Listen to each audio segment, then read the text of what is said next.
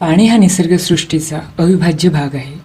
परंतु बदलती संस्कृती वाढती लोकसंख्या आणि प्रतिदिन कमी होणारे पर्जन्यमान यामुळे भविष्यात पाण्याची मोठी समस्या निर्माण होणार आहे.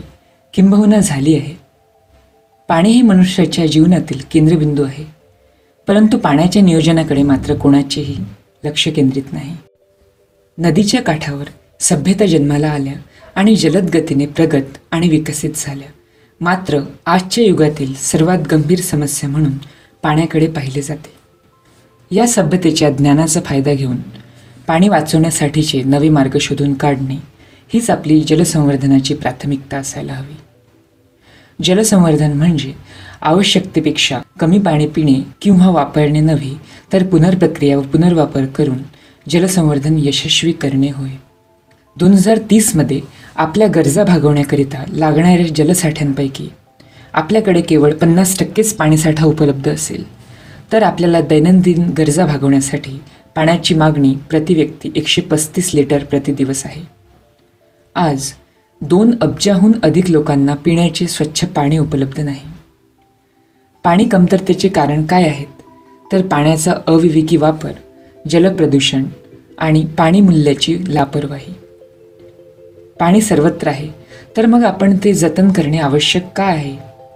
एकूण जागतिक लोकसंख्येपैकी एकोणीस टक्के लोकसंख्या भारतात आढळते परंतु या अफाट लोकसंख्येसाठी भारतातील एकूण जलमान केवळ चार टक्केच आहे.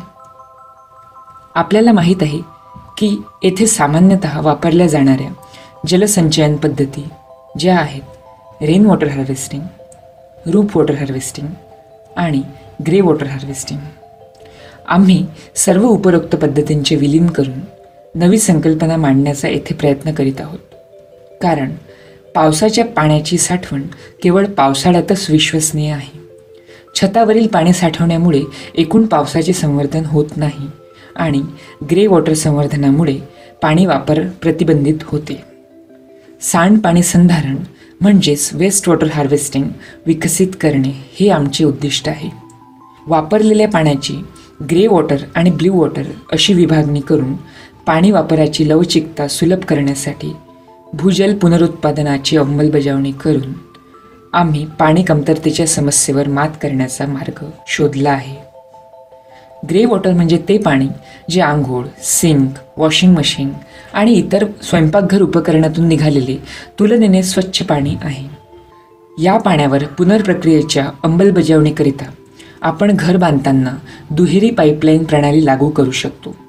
सिंकमधलं पाणी इफ्लुएंट फ्लो शिफ्टिंग युनिटसह दोन वेगवेगळ्या साठ्यांकडे मार्गस्थ होते.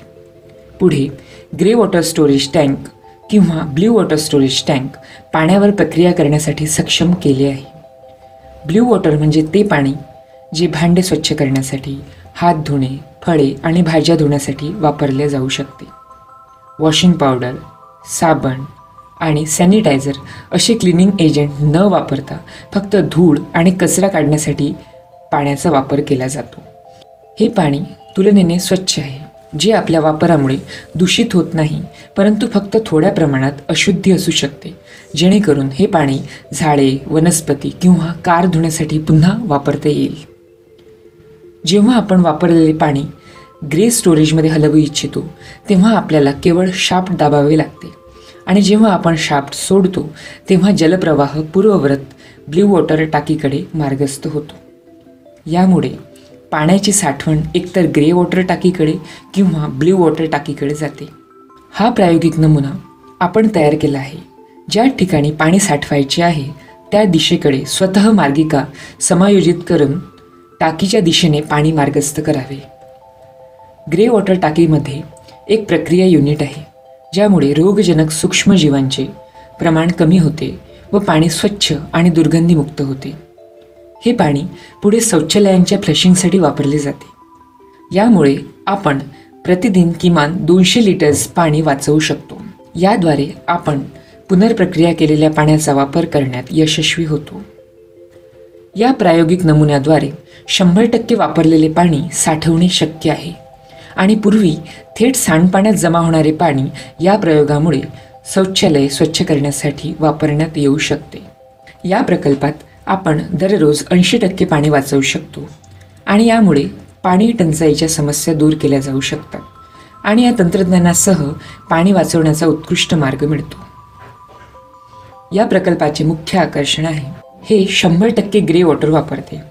कमीत कमी देखभालसह वापर करणे सोपे आहे. शौचालयात वापरण्यात येणारे त्र्याण्णव टक्के पाणी पुनर्नूतनीकृत आहे. शौचालय क्लिनिंग एजंट्सनी स्वच्छ करण्याची गरज नाही. बागकाम आणि कार वॉशिंगसाठी शंभर टक्के पुनर्नवीनीकरण केलेले पाणी वापरता येते. सदोतीस टक्के पाणी पूर्णपणे पुनर्नवीनीकरण केले जाते. एकूण जलवापरात छेचाळीस टक्के पाणी पुन्हा वापरण्यात येते. या प्रकल्पाचा वापर न करता आपण शंभर टक्के नवीन पाणी दररोज वापरण्यास घेतो व हे संपूर्ण पाणी प्रक्रियेशिवायच सांडपाण्यात निघून जाते. परंतु या प्रकल्पाची अंमलबजावणी करताच आपल्याला ताजे पाण्याचे एकूण प्रमाण केवळ त्रेसष्ट टक्केच आवश्यक आहे आणि याचा केवळ सव्वीस टक्के प्राथमिक वापर जसे पिण्यासाठी आणि स्वयंपाक करण्यासाठी केला जातो. आम्ही सर्वांना जलसंवर्धनाबाबत जागरूकता निर्माण करण्याची विनंती करतो आणि याची सुरुवात आपण स्वतःपासूनच करणे गरजेचे आहे. याबाबत शासनाचे अधिकाऱ्यांचे आणि स्वयंसेवी संस्थांचे योगदान लाभणे गरजेचे आहे. तहानलेल्या माणसासाठी पाण्याचा एक थेंब हा असंख्य सोन्यांच्या मोहऱ्यांपेक्षा सुद्धा मौल्यवान असतो.